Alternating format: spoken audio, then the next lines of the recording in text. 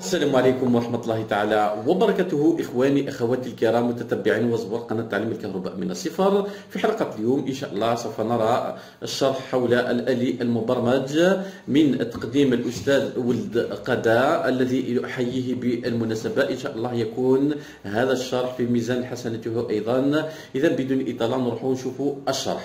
بسم الله الرحمن الرحيم. اليوم إن شاء الله غادي نشوفوا المبرمج الآلي الصناعي. يعني l'automate programmable industriel لاحظوا معايا؟ ها هو الشكل تاعه ويختلف من شركة إلى شركة. الآن قبل ما نشوفوا المبرمج الآلي لازم نعرفوا واحد المفهوم أن النظام الآلي يتكون من ثلاث عناصر وهي المنفذات المنفذات المتصدرة والملتقطات يعني les actionneurs les pré-actionneurs و les capteurs ال automate تاعنا باش يهتم يهتم بزوج صوالح يهتم بالملتقطات ويهتم بالمنفذات المتصدرة. الآن بالنسبة إلى المبرمج الآلي الملتقطات تسمى المداخل والمنفذات المتصدرة تسمى المخارج. يعني باللغة الإنجليزية تلاحظوا معايا هي مكتوبة input. وباللغة الإنجليزية كذلك المخارج output إذا لاحظوا معايا المداخل. دوك نشوفوهم هنا. ونشوفوهم هنا. لاحظوا معايا المداخل. المداخل تكون من I 1 I 2 I 3 حتى I I. يعني كنا نحسبهم غادي نلقاوهم 24 لاحظوا معايا نكبر الصورة. إذا ها هما ال input I. هادو يبداو من I 1 حتى ل I I اللي غادي يمثلوهم لنا القواطع. نجم نستعمل قواطع من الخارج من بعد نشوفوا هذا التطبيق. بالاضافه إلى تغذية اللي موجودة هي عندنا 24 فولت مستمرة. هذا من نستعمل ملتقطات من الخارج ولا قواطع من الخارج غير القواطع الموجودة في المبرمج الآلي. الآن باش ما نجوبوش ملتقطات من الخارج اللي هي مثلا نهاية الشوط خلية كهروضوئية هذا المبرمج الآلي موجه للتعليم. ها هما جابوا لنا الملتقطات على شكل قواطع وتعرفوا باللي القاطعة هي أبسط ملتقط ذو تحكم يدوي. لاحظوا معايا؟ غادي نكبر الصورة. اذا المداخل راهم واضحين. input اذا يبدأ من I 1 حتى ال I I هنا عندكم الصفر. وهنا عندكم الواحد يعني هنا مفتوح مغلوق وهنا مفتوح. اذا ها هما وين اي 1 ها هي اي 1 إي 2 ها هي إي 2 إي 3 ها هي إي 3 حتى الإي ايكغيك ها هي إي ايكغيك اذا هادو يعتبروا مداخل اللي هما ملتقطات. الآن بالنسبة للمخارج اللي هما output عندنا من O un حتى ال O L. عندنا 16 عندنا 16 مخرج لاحظوا معايا الصورة راهي واضحة. بالنسبة للمخارج إذا تبدأ من O un حتى ال O L.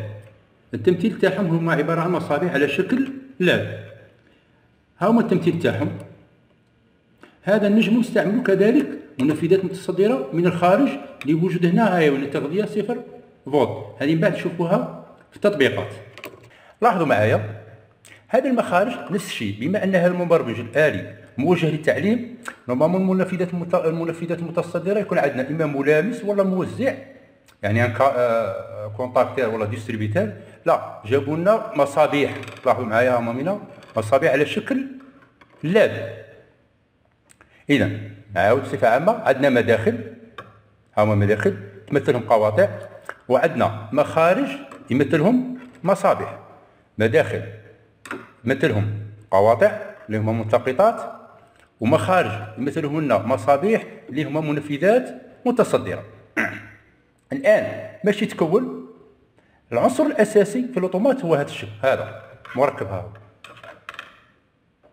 أي؟ الملاحظة هذا النوع يسموه كروزات هاي وين كروزات مكتوبة.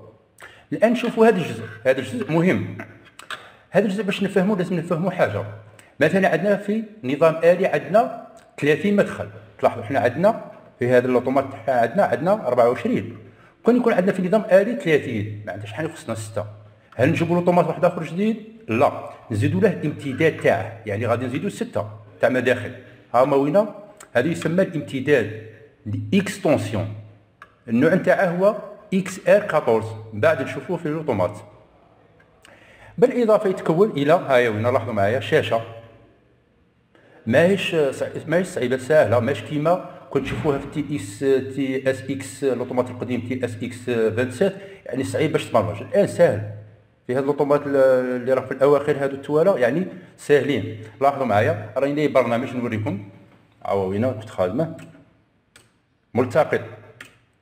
إي 3 يتحكم في الإي سي المخرج إي 6 والمخرج إي كا المدخل إي كات يتحكم في في إي 6 يعني قاطعتين يتحكمون في مخرج اذا هاي الشاشة. كذلك ماشي تكون لاحظوا معايا. هذا الكابل ال USB يربط لنا الميكرو يربط لنا ال automate يعني المبرمج الآلي بالحاسوب. وهذا شايفينه في المصانع. بالإضافة إلى لاحظوا معايا وهو سي دي تاع ال Millenium يعني تاع ال logiciel اللي غادي يخدم لنا بال automate. ماهوش صعيب ساهل يسمى Millenium. Millenium ثلاثة ماهوش صعيب ساهل في ال في ال installation تاعه. الآن نشوفوا كيفاش نخدموا بال logiciel تاع Millenium.